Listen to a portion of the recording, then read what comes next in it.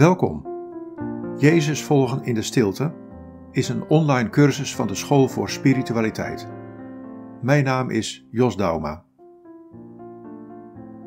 In deze korte podcast kun je nu luisteren naar een citaat uit De navolging van Christus van Thomas A. Kempis.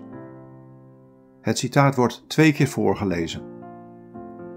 In de stilte die dan volgt kun je de woorden die je hoorde liefdevol luisterend tot je door laten dringen. Na de stilte komt het citaat nog één keer tot klinken.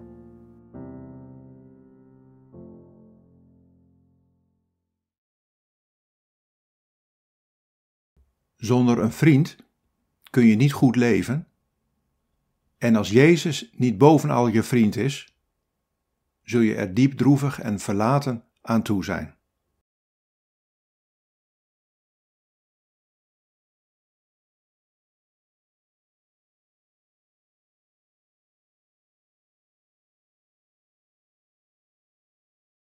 Zonder een vriend kun je niet goed leven. En als Jezus niet bovenal je vriend is, zul je er diep droevig en verlaten aan toe zijn.